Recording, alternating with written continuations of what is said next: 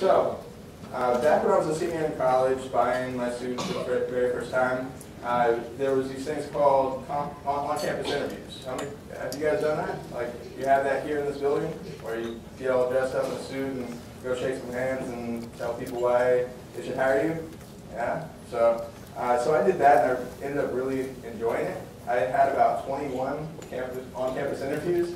I was just like applying to just the most random stuff, like you know, just being a sales dude, being a, an accountant, being a marketing guy, like whatever. I just really wanted to have as many interviews as possible, cast my net pretty wide.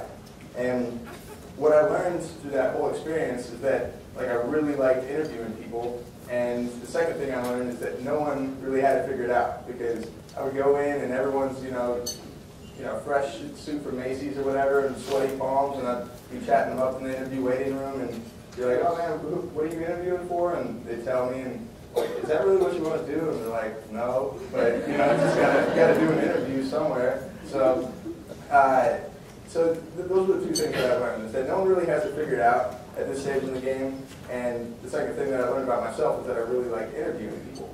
And my favorite part about the interview was that that end of the interview question of, do you have any questions for us? And that portion is like what I live for in the interviews because I'd be like, all right, yeah, I've got plenty of questions for you. You know, like, how'd you get here? What, what, what do you enjoy about this? Like, you know, what's really cool about the company? Like, my interview portion would last longer than the interview itself about me.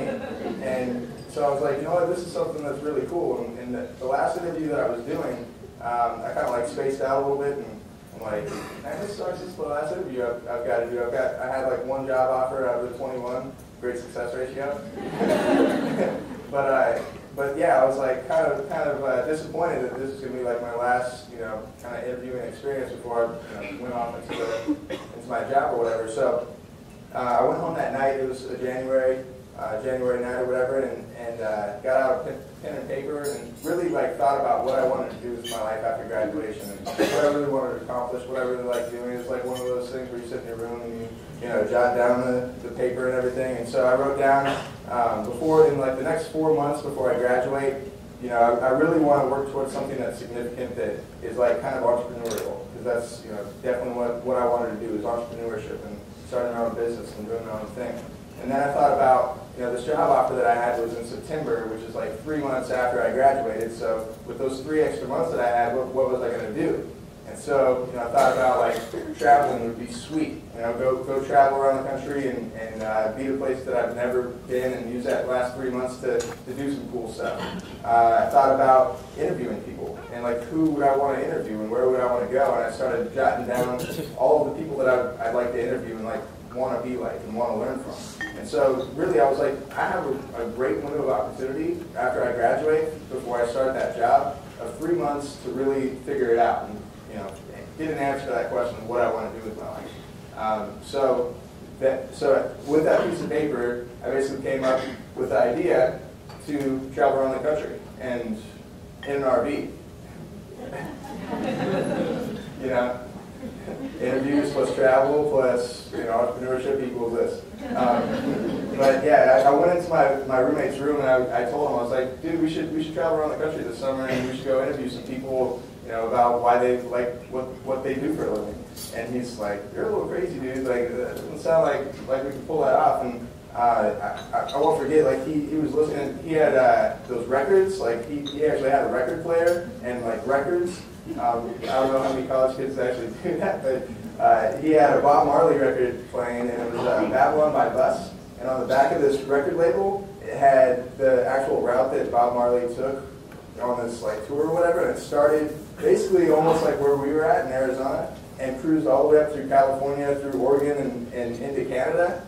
And uh, I was like, that's the route we're taking right there. Let's do it. and so that was our master plan. And so I bought a, a domain name uh, called pursuethepassion.com. I uh, you know, started looking into like basically how I could line up these interviews and everything like that. And then the ultimate like big, big go was buying this RV. And you know, I was scouting Craigslist for a while, trying to figure figure out how I can like pony up like three grand and turn it into an RV. And this is what you get right here. So I, I named it uh, I named it Maggie Miracles, and and we were you know I recruited one other buddy, and we were like set to hit the road. And so, uh, so lining up all these interviews was awesome. Like, um, you know, I basically had a dream list of places to go: Microsoft, Nike, Playboy, EA Sports, San Francisco Giants, San Diego Padres. Like, like some really cool stuff, you know.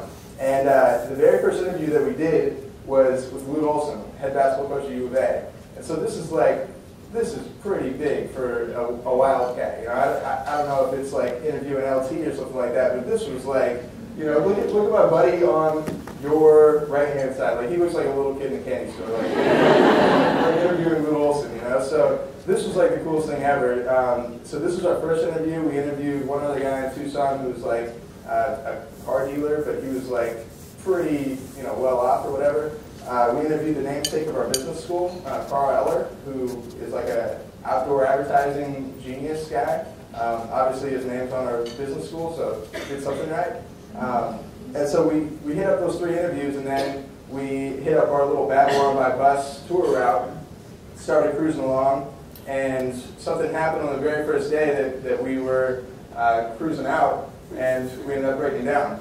So this is like three hours into the trip, and yeah, so didn't plan for this, but we started driving, and the I don't know if you guys have ever driven like a really bad car, but times that by like 28 feet, and you get RRD, and it sounded like marbles, like someone just threw a bag of marbles into the engine, and it just like started, you know, doing bad stuff and spewing out green liquid or what, whatnot. We had to go like 35 miles an hour on the freeway for the rest of the time to San Diego, which is like a seven-hour drive. Turned into like a 12-hour drive. But uh, long story short, we didn't really uh, make it too far in the RV. We didn't make it uh, on, the, on the whole thing. We had to bum uh, my mom's Toyota 4Runner and make it the rest of the way. But we ended up doing about 75 interviews this summer, which was pretty pretty cool. But then, uh, you know, reality kind of came had to start working. So um, this is actually a picture of me on my very first day. looking pretty pumped, looking like, uh, you know, almost like a couple of you guys when you walked in. I'm like, man, career conference. You guys all had smiles and looking good. But uh, so back back the story up a little bit. I decided to major in accounting uh, when I was in business school. And the reason why I did that, I was having a conversation with my stepdad, and I was talking to him about what I should major in. And he was an accountant, and he's like, well, if you major in accounting, you're going to get a lot of money, and you'll have some job security. I'm like, those two things sound good. So major in accounting, not really putting a whole a lot of thought into you know what I really wanted to do, what I was passionate about. And this is what happens when you don't put a whole lot of thought into something, and you know you kind of just let your environment take you in a, in a direction. Um, so I'm actually a firm believer that if you're not passionate about what you do for a living, you'll never be great at something. Like you might be really good at your job, but you'll never be like the best at it because you don't have like that extra ounce of that's pushing you forward and making you do great things. And so not only was I not even good as an auditor, I, I was I just sucked. Like I was not good at my job, and uh, and, and it, it wasn't fun to, to be really bad at something like that, right? Like it's no fun to get up and go to work and just be like totally average. So um, so what I did was I, I, was there for about 10 months, and the whole time I was getting like these emails from people that were coming across our, our website that was like, hey man, this is you know pretty sweet what you're doing. Let, let me know if you need a couch. You know, you're welcome to swing by anytime or whatever. I'm like, all right, you know, put them in a little Excel spreadsheet, you know, for the for the back burner or whatever. I'm like, I'm gonna hit you up. You know, seven months from now, you're gonna get an email and be like, hey, remember that couch? Yeah. so, uh, so one day I was actually, so as a corporate auditor, uh, basically, the way it works is you audit you know, people's financial statements and make sure they're in, compliance or whatever. And uh, they take you to different companies uh, depending on like whatever month. So one month you might be at one company, another one you might, might be at another. And I was at this one company building that was like the worst. I mean, it, it smelled like burnt popcorn anytime you walked in there. Like 7 a.m., burnt popcorn, 12, like lunchtime, the worst burnt popcorn, and then like 3 p.m., you just wanted to get out of there. And, uh, and so I was at this, this place or whatever, and I was like, man, this job really sucks. I'm looking around, you know, smelling whatever. And, uh, and so I'm on the 10th floor, and I have to walk down to the third floor to, to uh, go ask, you know, someone a question. And no one ever wants an auditor like come in their office and be like, excuse me, I have a couple questions for you. Uh, but you know, that's, that's what I was about to do. And instead of taking the elevator, took the steps so I could like drag it out, and, like, walk it down.